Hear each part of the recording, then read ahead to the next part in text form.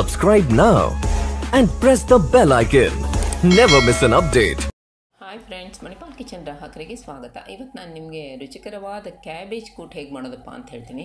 ಎಳೆ cabbage use ಮಾಡಿದ್ರೆ ತುಂಬ ಚೆನ್ನಾಗಾಗುತ್ತೆ, ಬೇಗ ಬೆಂದುಬಿಟ್ಟು ತುಂಬ ರುಚಿಕರವಾಗುತ್ತೆ. ಈಗ ನೋಡಿ ಫ್ರೆಶ್ ಎಳೆ ಕ್ಯಾಬೇಜ್ ತೋರಿಸ್ತಾ ಇದ್ದೀನಿ.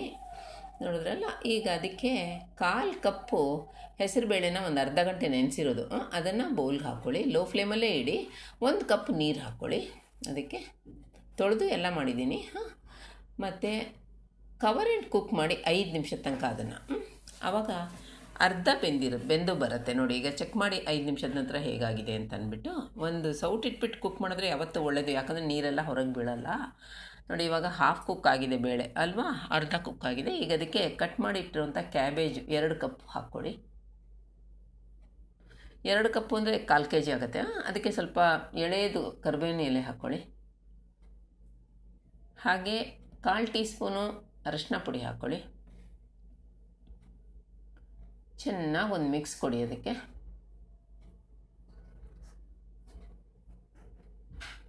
ಒಂದು ಅರ್ಧ ಕಪ್ ನೀರು ಹಾಕ್ಕೊಳ್ಳಿ ಹಾಗೆಯೇ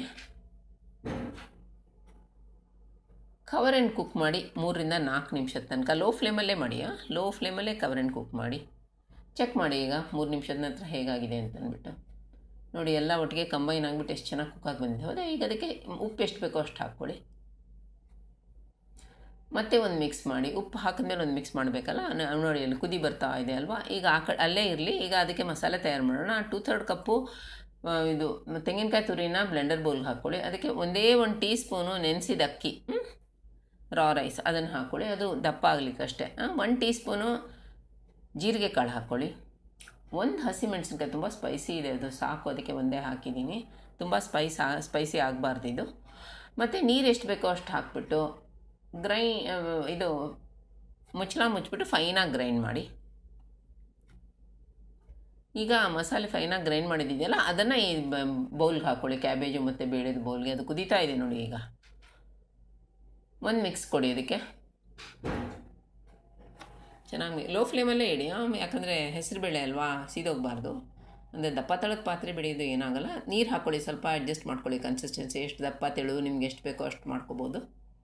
ಮತ್ತೆ ಒಂದು ಸತಿ ಮಿಕ್ಸ್ ಮಾಡಿ ಅದನ್ನ ಸಾಲ್ಟೆಲ್ಲ ಚೆಕ್ ಮಾಡ್ಕೊಳ್ಳಿ ಇನ್ ಬಿಟ್ವೀನ್ ಕ್ಯಾಬೇಜ್ ಕೂಟು ಇವಾಗ ನೋಡಿ ಬಾಯ್ಲ್ ಆಗ್ತಾ ಇದೆ ಅಲ್ವಾ? ಎಷ್ಟು ಚೆನ್ನಾಗಿ ಬಾಯ್ಲ್ ಆಗ್ತಾ ಇದೆ ನೋಡಿ. ಈಗ ಅದಕ್ಕೆ ಒಗ್ಗರಣೆ ತಯಾರು ಮಾಡೋಣ. ಎರಡು ಟೀ ಸ್ಪೂನ್ ನಾನು ಇದು ಕೊಕೊನಟ್ ಆಯಿಲ್ ಅಂದರೆ ತೆಂಗಿನೆಣ್ಣೆ ಹಾಕಿದ್ದೀನಿ. ನಿಮ್ಗೆ ಯಾವ್ದು ಬೇಕಾದ್ರೂ ಹಾಕ್ಕೊಳ್ಳಿ ಹಾಗೆ ಅದು ಕಾಯಿ, ಕಾಯತ್ಲು ಅದಕ್ಕೆ ಅರ್ಧ ಟೀ ಸ್ಪೂನು ಸಾಸಿವೆ ಕಾಳು ಹಾಕ್ಕೊಳ್ಳಿ ಅದು ಸಿಡಿತಾ ಇದೆ ಅನ್ಬೇಕಾದ್ರೆ ಅರ್ಧ ಟೀ ಸ್ಪೂನು ಉದ್ದಿನಬೇಳೆ ಹಾಕ್ಕೊಳ್ಳಿ ಇದು ಸಿಡಿತಾ ಇದೆ. ಅದು ಚೆನ್ನಾಗಿ ಫ್ರೈ ಆಗ್ತಾ ಇದೆ ಅನ್ಬೇಕಾದ್ರೆ ಒಂಚೂರು ಹಿಂಗೆ ಹಾಕ್ಕೊಳ್ಳಿ ಒಂದು ಸಿಕ್ಸ್ತ್ ಟೀ ಸ್ಪೂನು ಹಾಗೆ ಬ್ಯಾಡಗಿ ಮೆಣಸಿನ ಪೀಸಸ್ ಇದೆಯಲ್ಲ ಮೆಣಸಿನ್ಕಾಯ್ದು, ಅದು ಹಾಕ್ಕೊಳ್ಳಿ ಫ್ಲೇಮ್ ಸ್ವಿಚ್ ಆಫ್ ಮಾಡಿಬಿಡಿ, ಮತ್ತು ಕರ್ಬೇವಿನ ಸೊಪ್ಪು ಹಾಕ್ಕೊಳ್ಳಿ ಅದಕ್ಕೆ.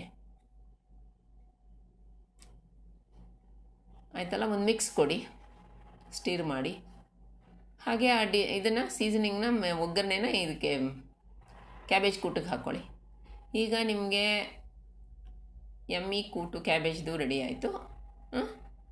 ಇದನ್ನು ಅನ್ನದ ಜೊತೆಗೆ ಹಾಟ್ ರೈಸ್ ಜೊತೆಗೆ ಐಸ್ ಅನ್ನ ಅನ್ನ ಜೊತೆಗೆ ಎಂಜಾಯ್ ಮಾಡೋಕ್ಕೆ ಚೆನ್ನಾಗಿರುತ್ತೆ. ಕೆಲವು ಕೂಟ್ ರೆಸಿಪಿದು ಲಿಂಕ್ಸ್ ಹಾಕಿರ್ತೀನಿ. ದಯಮಾಡಿ ಚೆಕ್ ಮಾಡಿ. ನನ್ನ ಚಾನಲ್ಗೆ ದಯಮಾಡಿ ಸಬ್ಸ್ಕ್ರೈಬ್ ಮಾಡಿ. ಬಾಯ್